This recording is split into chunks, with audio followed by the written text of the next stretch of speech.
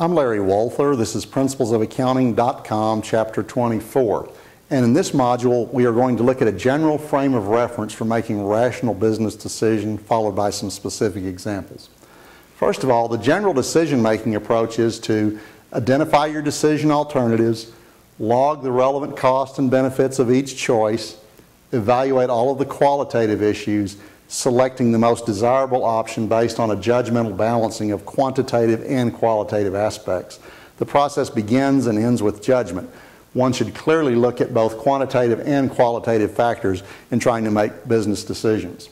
Let's next turn our attention to some specific examples starting with outsourcing. Outsourcing is where we hire someone outside of the business to provide goods and services that we have customarily or historically provided internally.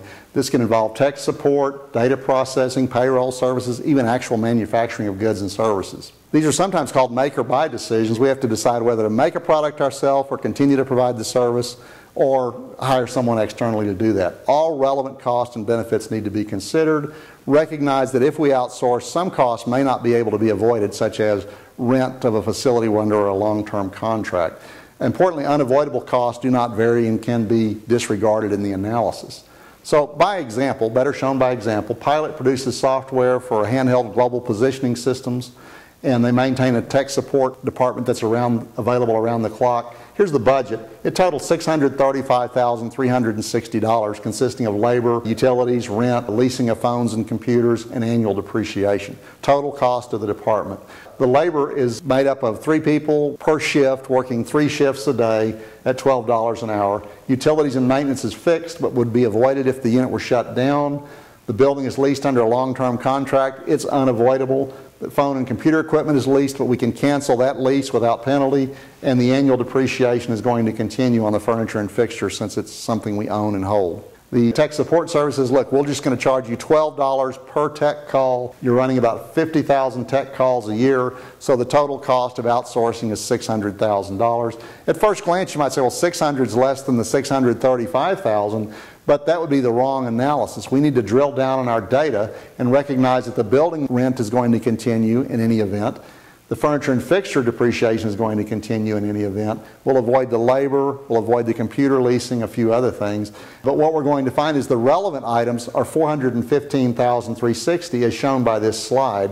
We can avoid 415,000 but no more. Why would we spend 600,000 to avoid that? So we're better off continuing to provide our own tech support.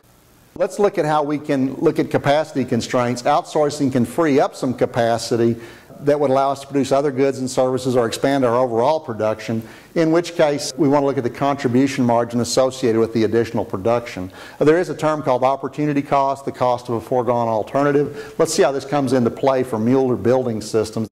In an effort to free up capacity, they've outsourced production of their roof trusses, and that outsourcing frees up 10% capacity in the factory to produce even more buildings We've got direct labor to produce the trusses, currently producing at 3 million eight. Direct materials, current production 4 million. Variable factory overhead 2 million and avoidable factory overhead a million. So the relevant cost to produce the trusses is $10 million eight. But by freeing up capacity, I'm assuming we're able to produce an additional 10%, which increases our overall margin of $3 million. So we can spend up to $13,800 on outsourcing given the cost that we're able to avoid and the additional contribution that we're able to generate by having additional capacity freed up. However, we also want to consider the cost of placing and tracking orders, freight, customs fees, commissions, and so on. And also we want to think if the decision results in employee layoffs, there could be increases in employment taxes and so on. We also want to think about qualitative issues. Outsourcing places quality control, production scheduling, and so on in the hands of a third party.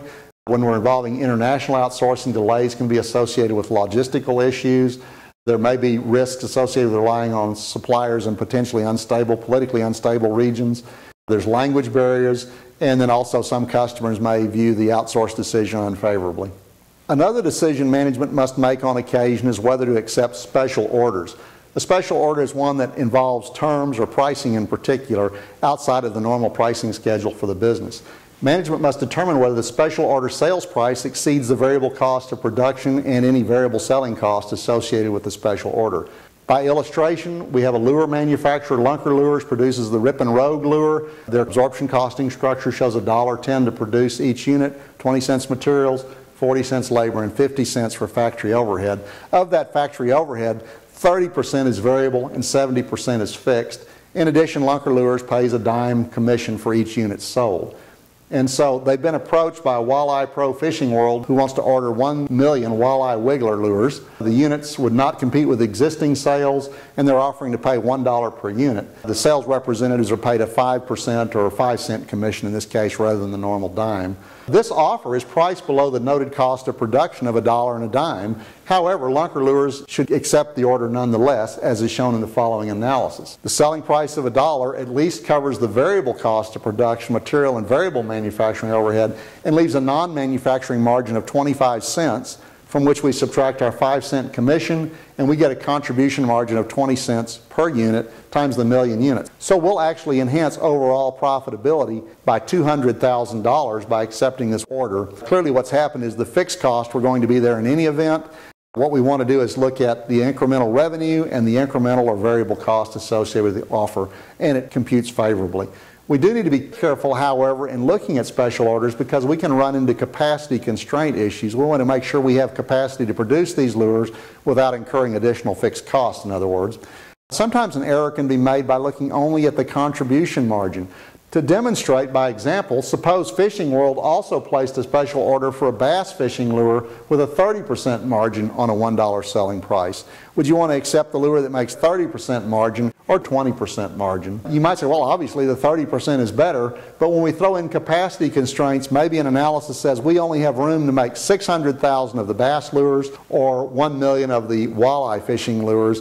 And in this case, 1 million units with a 20 cent contribution will enhance our overall profitability 200,000 whereas the higher margin item we can't produce as many and will only produce a 180,000 overall increase in profitability. So in all likelihood we're going to want to select the walleye lure as the special order that we accept because overall profitability is higher even though it involves a lower per unit margin.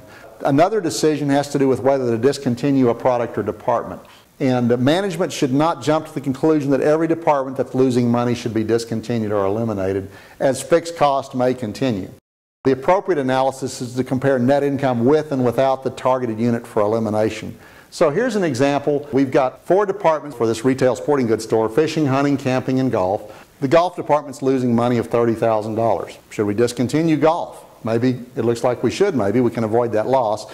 But drilling down, we learned that 70% of the general administrative costs could be eliminated, the other 30% would continue. Rent and depreciation would continue to be incurred for the store. Utilities could be reduced by half for that department. Selling costs could be eliminated for that department. And the unavoidable costs are to be shifted equally to the other departments. And so when we rerun the spreadsheet, just picking one line item here, you may want to look in the textbook and look at all the line items. The rent, which totaled a million for the entire facility, was borne $250,000 by four departments. Now it needs to be absorbed $333,334 by each of the three remaining departments. And note that Camping World now has a loss. So we can create a downward spiral by transferring costs to other departments. Are we going to now discontinue camping? What would be the effect? How would that cause a cost shifting? So we ultimately may find we're better off keeping golf in place because it's at least covering its variable cost of operations and contributing toward covering the fixed costs that cannot be avoided. So a very sensitive analysis in terms of looking at what departments we should maintain versus those that should be discontinued.